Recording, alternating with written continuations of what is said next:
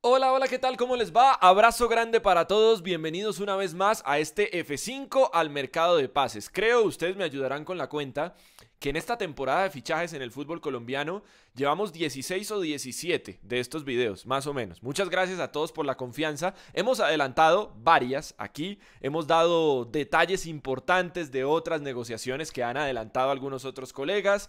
Eh, es nuestra tarea, la tarea que ustedes nos ponen y que la hacemos aquí con mucho gusto y con mucho cariño. Si todavía no lo ha hecho, la invitación para que se suscriba a este canal, active notificaciones y haga parte de esta conversación constante, porque se acaba el mercado de fichajes en Colombia, pero aquí seguimos hablando de selección Colombia, de los clubes más importantes de nuestro país, análisis tácticos que hacemos también y que compartimos en este espacio de los futbolistas colombianos que están en el exterior. Mejor dicho, material, carnita, pulpita es lo que va a haber en este canal en este 2023. Arranquemos entonces y arranquemos hablando de una de las novelas que ha tenido este mercado de fichajes y es la de Teófilo Gutiérrez. Le hemos hecho seguimiento a la situación en el momento de grabar el video, la información que yo tengo y que he compartido en redes sociales es que hay un acuerdo de palabra respecto al salario de Teófilo Gutiérrez con el Unión Magdalena y que hay algunos detalles por ajustar que podrían resolverse en las próximas horas, probablemente cuando usted esté viendo este video. El tema del salario, lo que se gana el jugador, listo, perfecto,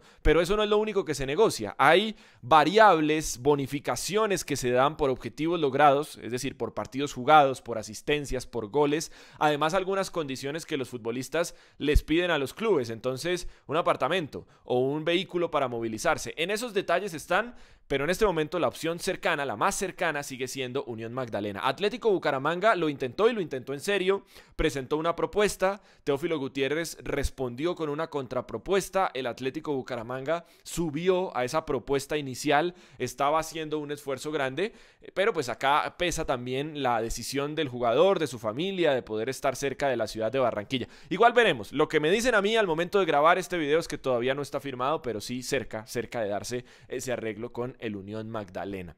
Hablemos de los centrales de Millonarios. Hay muchas preguntas alrededor de Andrés Ginás y de Juan Pablo Vargas. La semana pasada en eh, Gladiadores contábamos de un asomo de eh, al menos una pregunta al entorno de los jugadores y a millonarios por los dos, por Juan Pablo Vargas y por Andrés Ginas. Hay nueva información al respecto.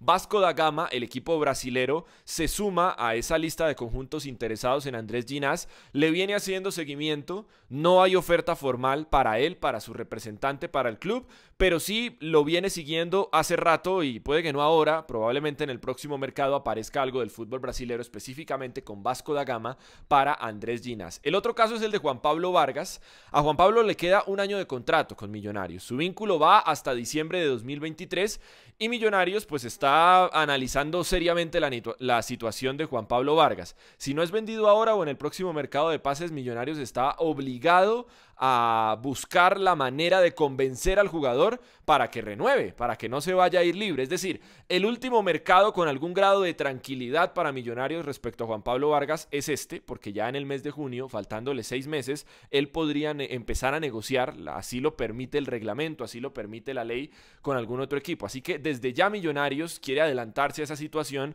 y está eh, analizando las condiciones para presentarle una propuesta de renovación a Juan Pablo Vargas en caso de que no se decida aceptar eh, lo que llegue en estos días que quedan de mercado en Colombia eh, por el jugador costarricense. Vamos a ver qué pasa con los dos centrales de Millonarios. Atlético Bucaramanga, la gente nos pregunta mucho por dos nombres, Michael Rangel y Johandri Orozco. Entiendo que algunos colegas en la ciudad de Bucaramanga, Fabián Blanco y otros colegas han hablado de estos dos nombres. Consulté con el entorno de Michael Rangel y me dice Michael no va a jugar en Bucaramanga. Eh, al menos hasta ahora no hay una cercanía lo suficientemente importante como para considerar esa posibilidad. Tenemos algunas cosas del fútbol del exterior, en el fútbol de Medio Oriente que estamos analizando, pero que esté cerca un acuerdo entre el Atlético Bucaramanga y Michael Rangel, lo que nos cuentan a nosotros, el entorno del jugador, es que por ahora no. Con Johandri Orozco sí se han reactivado las conversaciones, el tema estaba quieto, eh, ante la situación complicada con Teófilo Gutiérrez, nuevamente conversaciones entre club y el jugador, y en las próximas semanas podría evolucionar eso positivamente para el conjunto Leopardo. Andrés Colorado, muchas preguntas respecto a Andrés Colorado, su situación en Cortuluá, su recuperación. No va a jugar con Cortuluá, eh, no va a disputar el campeonato de segunda división en Colombia. nos han dicho nuevamente que probablemente em, su destino para este 2023 esté en el fútbol internacional. Hay dos equipos argentinos que se han comunicado con Cortuluá o con Industriales de Jumbo, que es su nuevo nombre, eh, para preguntar condiciones por Andrés Colorado y esperan que en los próximos días eh, llegue una propuesta económica formal por aquel volante que se fue a Sao Paulo, estuvo en el fútbol de Brasil, no ejecutaron esa opción de compra que tenían y el jugador regresó a Colombia para ponerse a punto y probablemente para hacer maletas otra vez e irse al fútbol del exterior. Nos decían, tenemos también algo ahí en Europa, pero por los tiempos no sabemos si se vaya a dar porque algunos de, de los mercados en el fútbol europeo están próximos a cerrar. Falcao García Ayer estuve eh, hablando con una persona cercana a Falcao, porque por supuesto todo lo que tiene que ver con el Tigre, que es el goleador histórico de la selección Colombia, genera mucha repercusión, mucho, mucho ruido alrededor. Y eh, en México cuando se empezó a hablar de esa posibilidad de Cruz Azul, me imagino la ilusión y la expectativa que genera tener un jugador con esta trayectoria en el fútbol mundial, no solo lo que representa para el fútbol colombiano, sino para el fútbol mundial. La situación con Cruz Azul es la siguiente, lo primero es que Cruz Azul hoy no tiene cupos extranjeros, tiene 10 jugadores inscritos, que es lo máximo que permite la Liga Mexicana, así que si pretende a Falcao tendría que liberar un cupo. El otro tema es que a Falcao le quedan seis meses para ser agente libre. Él llegó a Rayo Vallecano un año, renovó su contrato, extendió su contrato por un año más y de ese segundo año quedan seis meses. Lo que nos cuentan es que Falcao tiene la intención de eh, cumplir su contrato con Rayo Vallecano hasta el final que el equipo, más allá de que pueda recibir ahora una compensación económica, no está muy convencido tampoco de dejarlo salir faltando esos seis meses de contrato, y a no ser que llegue una propuesta realmente muy buena, y yo no lo descarto, en México hay mucho dinero y además a veces aparece un patrocinador, por ejemplo, y dice yo completo, yo pongo sobre la mesa lo que hay que poner, pero tendría que ser eh, una oferta realmente jugosa para que se considere resolviendo además ese tema de los extranjeros que tiene Cruz Azul. A propósito de México, André Estupiñán, que estuvo muy cerca de renovar con Independiente Santa Fe, que tenía acuerdo de palabra y yo por eso les insisto, ojo con los términos. Cuando aquí decimos principio de acuerdo es porque lo más importante se acordó. Acuerdo de palabra es porque es justamente eso, pero hasta que no haya firma muchas veces eh, los negocios se pueden caer y André Estupiñán, por ejemplo, tenía acuerdo de palabra con Independiente Santa Fe. Al final el jugador eh, pidió incluir en el contrato una cláusula que le permitiera salir si llegaba algo del fútbol del exterior. Santa Fe dijo no a esa posibilidad y no se va a quedar en el conjunto cardenal. Tiene una propuesta económica de Juárez, uno de los equipos que eh, tiene bastante dinero en el fútbol mexicano. La propuesta está siendo analizada por Andrés Estupiñán y podría ser otro de los nuestros en el fútbol mexicano. Hamilton Campas, jugador que salió del Deportes Tolima. No tiene porcentaje Tolima en los derechos económicos de Hamilton Campas, pero si se diera una negociación, no en préstamo, sino en transferencia definitiva de sus derechos económicos, al Tolima le corresponde un dinero por lo que les he explicado aquí en otras oportunidades, que es mecanismo de solidaridad, y eso tiene que ver con derechos de formación. Se paga un 5% a los equipos que participaron en los primeros años de la formación de un jugador. Entre más años haya estado, entre los 13 y los 23 años, el futbolista con ese equipo en particular, pues más dinero va a recibir el club. Hamilton Campas hizo una buena parte de ese periodo juvenil con Tolima y le correspondería algún dinero. Hay un sondeo de Santos Laguna, el equipo mexicano de semanas anteriores. Él tiene contrato con Gremio hasta diciembre de 2025. Lo que nos dicen es un sondeo de semanas anteriores que por ahora se ha quedado en eso, en preguntar, en preguntar por Hamilton Campas. Así como también hay sondeo, ese sí un poquito más reciente, lo contaba ayer en mis redes sociales y en el programa de Gladiadores en partido aparte, por Emerson Rivaldo Rodríguez. Inter de Miami, que es eh, el equipo dueño del 80% de sus derechos económicos, Millonarios, ahí sí conservó un porcentaje, tiene el 20%, está buscando alternativas para Emerson Rivaldo Rodríguez porque ahora llega Joseph Martínez y no tiene mucho lugar en el equipo Emerson Rivaldo, eh, no jugó mucho, menos de 600 minutos en la temporada anterior, anotó dos goles, tiene contrato hasta 2025 con el conjunto estadounidense y están buscando alternativas y uno de los que primero alzó la manito para preguntar es Santos Laguna. Preguntó, semanas anteriores por Hamilton Campas y ahora por Emerson Rivaldo Rodríguez. Vamos a ver si alguna de las dos termina cuajando y si tenemos un colombiano más en Santos Laguna, en el fútbol mexicano. A propósito de la MLS, Santiago Arias ha iniciado ya nuevamente entrenamientos con Cincinnati. Nos dicen que el contrato no está firmado. Él hizo la primera parte de la pretemporada con Cincinnati. Para la segunda parte también apareció en, eh, en eh, convocatoria y está entrenando con el equipo estadounidense.